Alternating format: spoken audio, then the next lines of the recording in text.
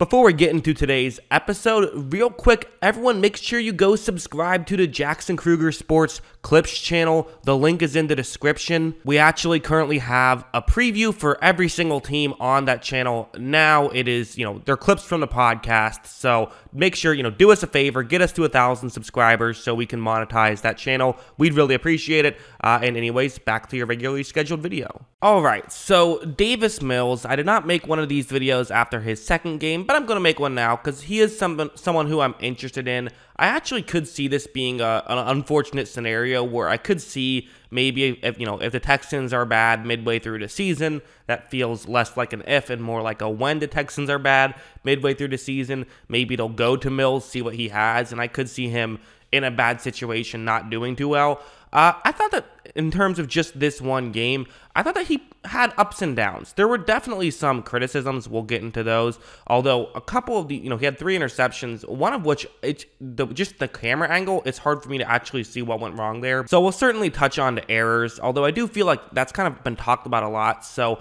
I want to also talk about the positives we saw from him, and there will be some good plays with Mills. So, like, we'll start off with this play. So, what's going to happen here? This is going to be a, a negative play for Mills, and again, uh, this is just one example. I could honestly have like a dozen examples of not great plays. The accuracy issues are a real thing.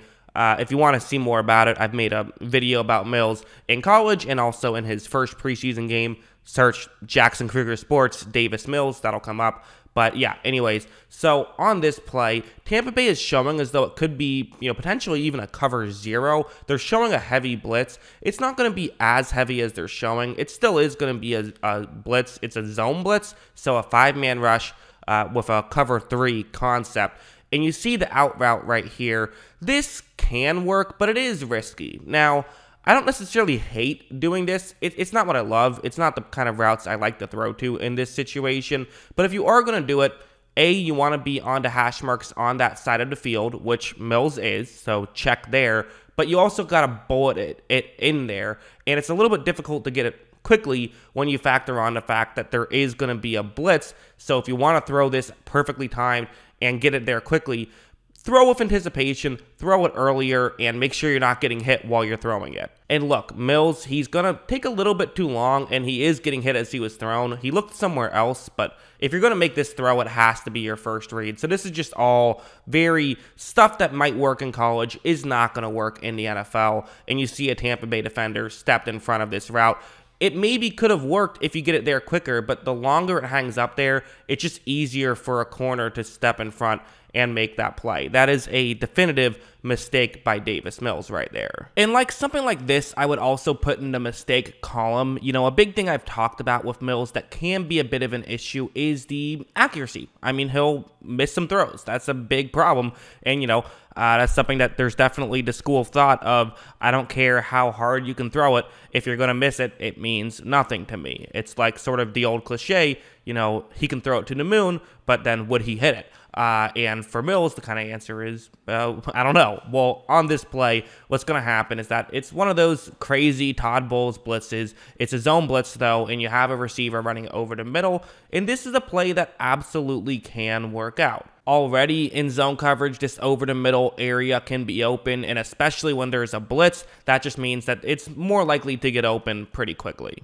And look, as you see, so Mills is going to step back and make this throw, and I would say that that's a missed throw, albeit one that could have been caught. Uh, not a horribly inaccurate throw or anything, but just a bit off. And again, uh, you know, people will sit here and say the receiver has to make that catch. Sure, I don't disagree, but Mills also has to make a better throw. Throw it not as far. Uh, I think that that's. I think that the, you can say both of those two things, I would say, especially when you factor in how open he was. If it was a tight window and he missed it by that much, I wouldn't be criticizing it as much. But when it's wide open, you do want to make that throw. But for some positives, again, there were some flashes, there were some good plays, and I want to talk about the good plays. And again, some people might say, well, Jackson, why are you spending so much time talking about positives with Mills when he didn't have a good performance? It's because I want to take the get the whole picture you know that's kind of what i like about this channel is when everyone thinks something i can say well actually there was this as well that you should pay attention to. And so that way people get the whole picture. Uh, to me i just get very bored with like you know this is why patrick mahomes is great. It's like we already know why. Let's talk about his negatives. Let's talk about davis mills strengths. Not that he's the complete antithesis of mahomes but you get my point on this play, it is a, a, quarters coverage. You see a route that's going to get into a gap in coverage, and in fairness, it is going to get kind of open. Like, look, as you see, so there is going to be this gap right here, and you know, I think Mills, listen, he's about to get hit, but he's going to hang in here pretty well. I mean, look, it's a good throw, accurate. He got the ball down there, picked up a first down on third and 10. That is a good play right there, and it's not a play that, quite frankly, every quarterback in the NFL can make. So uh, there's some real value in stuff like that, and he does at times feel like an NFL quarterback. Like right here, another example where it's going to be a zone coverage play.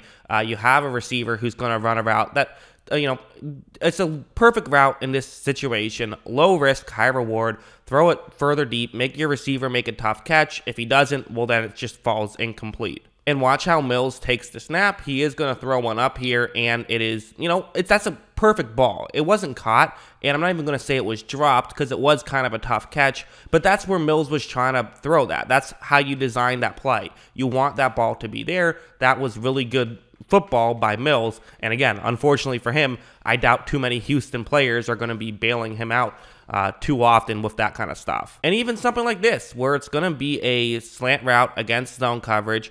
And watch what's going to happen right here because there is going to be a specific window where he has to throw it. Like, look, so he takes the snap, and right here is really when he has to make this throw.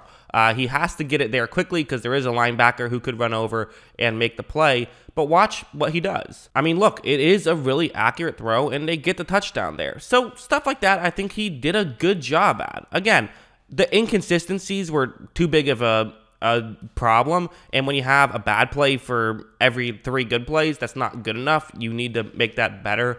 But, you know, Pro Football Focus killed him for his game.